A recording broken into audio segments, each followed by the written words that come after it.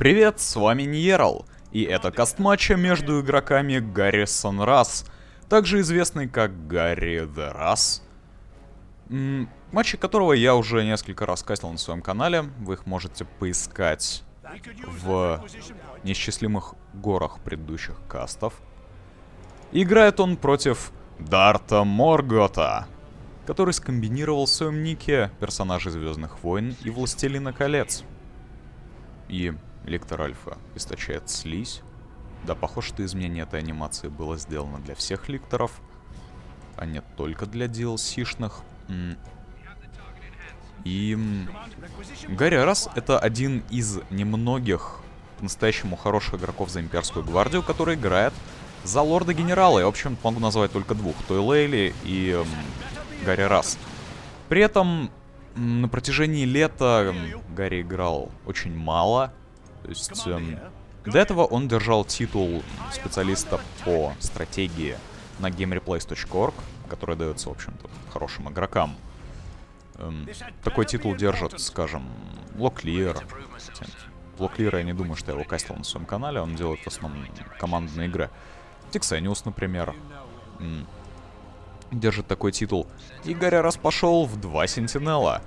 Посмотрим, сможет ли он их всех вовремя чинить. В общем-то, это единственная проблема, которая стоит перед игроками, которые используют такую тактику с масс Сентинелами, потому что, в общем-то, никаких других проблем у Сентинелов нет. Только починка. С самого начала Гарри начал харасить своим лордом-генералом, он потерял всего одного члена свиты, зато он смог эм, задержать продвижение Дарт Моргота, хотя бы ненадолго. И игрок Заликтора понимает, что ему нужно очень много огневой мощи для того, чтобы противостоять двойным сентинелам, которые будут очень быстро чиниться, очень быстро топать и очень больно жечь. Жечь не очень больно, но главным образом топать. Достаточно больно для того, чтобы убивать. Тиранит. Два отряда гвардейцев, два сентинела. Это очень злой билд. Если бы Гарри играл за Инквизитора, эта игра была бы уже почти выиграна. Просто потому, насколько сильный это билд за Инквизитора. Насколько Инквизиторша хороший герой. То, что она может спокойно противостоять даже отрядом подавления своей дефолтной способностью, то, что ее арбалет позволяет ей противостоять всему остальному на первом тире, она очень сильный герой. С двумя сентинелами становится еще сильнее. Хармагаунтом заказываются как там адреналиновые железы, надпочечники. И Сентинел продолжает их преследовать. Я не знаю, зачем Дарт Моргот не убегает ими. Он просто бесполезно теряет членов отряда, за которых ему в конце концов придется платить деньги. И похоже, что Дарт Моргот избрал путь Блоба. И не сумовского Блоба, не равенерского. Он пошел менее техничным путем. Просто очень много термогаунтов. Если он собирается давать им всем мешки с токсинами, это он потратит на это очень много денег. Но, в принципе, мне выбор более-менее понятен. Кстати, если бы он играл против Инквизитора, он бы так сделать не смог. Инквизиторша бы их легко убила. Или Святой Жаровни, или даже тем же Арбалетом, способность которого наносит урон. И зажимает термогаунтов на месте и мешает им разворачиваться, так что если их цель находится хотя бы в одном градусе от той, которой им нужно стрелять, то они бы не смогли по ней стрелять. Я очень косо это сказал. В общем, если... Хм, способность арбалета, калечащий залп, кажется, называется, она не просто останавливает юнита на месте, она не дает им вращаться. Так что если им нужно повернуться хотя бы на один градус для того, чтобы атаковать кого-то, они не смогут его атаковать, потому что они не смогут поворачиваться. И это делает эм, Количество залп еще сильнее. Один топ и четыре отряда термогаунтов отправляются на базу. Второй топ уже был довольно бессмысленен. Они понесли еще немного урона. И Гарри раз делает еще и отряд тяжелого вооружения. Посмотрим, что Дарт Моргот сможет вообще сделать сейчас. У него нет генераторов.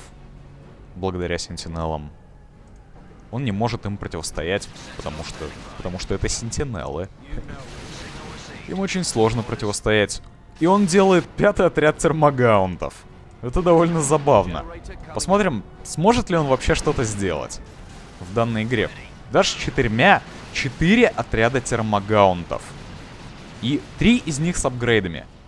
Этого недостаточно для того, чтобы убить Сентинелла. Ну, посмотрим. Рано или поздно он должен достичь критической массы, после которой Сентинел, ну, уже просто умрет от попадания в радиус атаки этих термогаунтов. Эм, большая опасность для Ликтора сейчас, эм, для игрока за Ликтора. Сейчас это подавляло. И Гарри просто пускает гвардейцев впереди Сентинела, они впитывают урон. Удивительно много. То есть они не понесли так уж много урона. Так что Сентинел смог подойти и топнуть. Второй Сентинел подходит. И тоже топает. Эм, и... Да, конечно же, термогаунты не могут стрелять, когда они находят, когда они застанены. Поэтому Сентинел уходит, а термогаунты отступают. Я не думаю, что ему стоило отступать всеми отрядами. Там еще мог немножко пострелять. Но все это позволило Дарту Морготу перекапать карту своим ликтором Альфа и хромогаунтами. Четыре отряда термогаунтов могут оказаться неплохой тактикой. Эм, что вполне удивительно. И ему главное не нести большие потери ими. В... Отряд тяжелого вооружения находится в очень плохой позиции, и поэтому они оттеснены.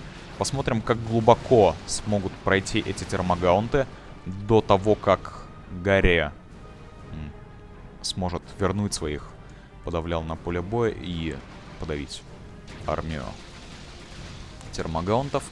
Как минимум один генератор будет здесь разрушен до того, как Гарри вернется. Да, подавлял уже подходит. Я думаю, один генератор это все, что удастся сделать термогаунтом. Если они срочно не выйдут из радиуса огня. Они успели. И, возможно, этот Сентинел погибнет. Но нет, он топает. Даже скаут... скауты. Даже термогаунты, которые не были в радиусе огня, они все равно застанены.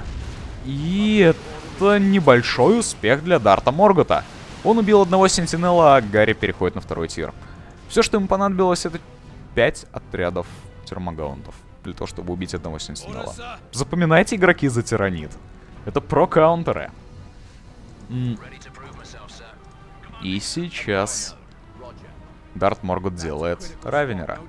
Все, что понадобится Гарри для того, чтобы выиграть, это Химера. Да, это довольно забавный матч. Дарт Моргот...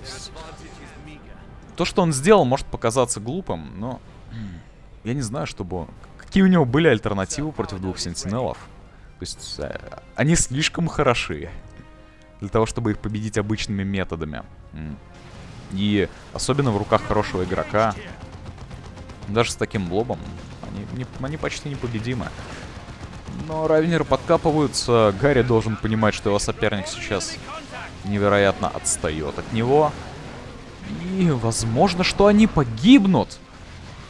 Еще одна небольшая победа для Дарта Моргота. Но Гарри уже на втором тире, и я думаю, что он уже поставил в очередь какую-нибудь убивальную штуку. Нет. Всего лишь три отряда термогаунтов подходят к этому Сентинелу, но он уже топнул, успеет ли он убежать. У, но Гарри на втором тире, и он делает свою глобальную способность. Он ставит ее так, что она почти не наносит урон тиранитской армии. Что довольно странно. Ну, да, я понимаю, почему он так сделал. Он хотел отпугнуть тиранит от своих, от своих генераторов, но он немножко не рассчитал. И сейчас на поле боя выйдет Химера, и Дарт Моргот ничего не сможет не сделать. Он, он потерял своих равенеров? Нет, он не потерял своих равенеров. Просто здесь так много термогаунтов, что равенеров нет, они просто не помещаются в списке. Равенеры не помещаются в списке. И генераторы почти уничтожены. Удивительно, что Дарт Моргот смог немного вернуть себе преимущество. Он даже делает мешки с токсинами. Правда, у него нет генераторов до сих пор. Гарри все это время перекапывал. Он понимает, что сейчас Дарт Моргот ничего не сможет сделать. Ему понадобилось 5 термогаунтов, чтобы хоть что-то сделать на первом тире. И сейчас, когда пришел второй, у него нет вариантов. Никаких. Несмотря на то, что у него сейчас больше очков победы, это не важно. Потому что по армии он отстает. Я думаю, что эм, в каких-то условиях мы бы могли увидеть победу тиранида после этого. Если это какой-нибудь очень хороший тиранид. Например, Сум. Но Сум бы... Сум бы играл по-другому. Сум... Как бы выглядела игра Сума? Представьте, что вместо термогаунтов здесь равенеры. Так бы выглядела игра Сума. Но сейчас... Гарри продолжает выигрывать. И 5 отрядов термогаунтов уже не настолько полезны. Но, по крайней мере, их Дарт Моргот не потерял. Если он хочет что-нибудь... Ну, у него есть генераторная ферма. Интересно, как долго она у него была. Я ее не видел. Она была внизу карты. Если уж я ее не заметил, то Гарри раз. Не заметил ее тем более. Для абсолютной победы Гарри не хватает чего-нибудь, что, что способно добить его соперника. То есть Химера, конечно, может нанести урон, но она... Она не заканчивает матча. То есть Химера не может убить всю вражескую армию и приехать к нему на базу и убить все остальное. Ну, она может приехать на базу и побивать немножко, но не такого калибра. Мантикора там или Огрины. Ну, Мантикора во многом зависит от удачи. И ну, по такому блобу, по такому блобу сложно было бы не попасть. И еще один генератор разрушен. Это удивительно неоднозначная ситуация для подобного матча. Конечно, Дарт Моргот в отвратительной ситуации. Но у него все еще довольно много энергии. Эм, он, возможно, скоро сможет перейти на второй тир. Он красит генераторы своего соперника. У него есть полная генераторная ферма. И пять отрядов термогаунтов. И отряд равенеров.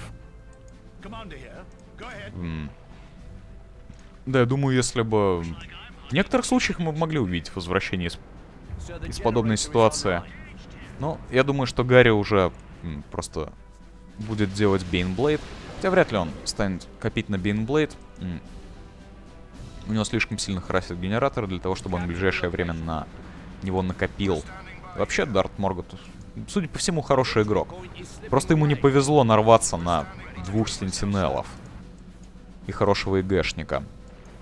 И, в принципе, против хорошего игрока за имперскую гвардию сложности будут у любого. И все-таки Химера смогла довольно быстро стрелять этих хромагаунтов. У Химеры огромный урон. Благодаря ее боковым турелям. Ее лобовая турель также неплохо бьет. И сейчас, да, Гарри делает Огринов. Огрины... Они неоднозначные на данной ситуации. В принципе, Дарт Моргут может, может их до бесконечности станет своим уедом. И... Залп Василиска. Он может убить эти три отряда термогаунтов. И он это делает! Три отряда термогаунтов отправляются не знаю, к Хайвмайнду, куда отправляются термогаунты. Это было очень мясно. И если до этого момента я мог ждать какого-то чудесного возвращения, сейчас уже нет. Но Дарт Моргут неплохо играл. Ну, действительно. Если бы он сейчас не слил термогаунтов, у него, у него бы был шанс. Очень маленький. Только в случае, если Гаррис бы сделал много ошибок, но он был. Сейчас нет. Нужно научиться нажимать на X вовремя. Замечательный залп Василиска. Заканчивает игру, конечно. Эм, Дарт Моргут еще не сдался, но я не думаю, что он сможет это сейчас сделать. Его армия пришла в более-менее нормальное состояние для второтирного тиранида, кстати.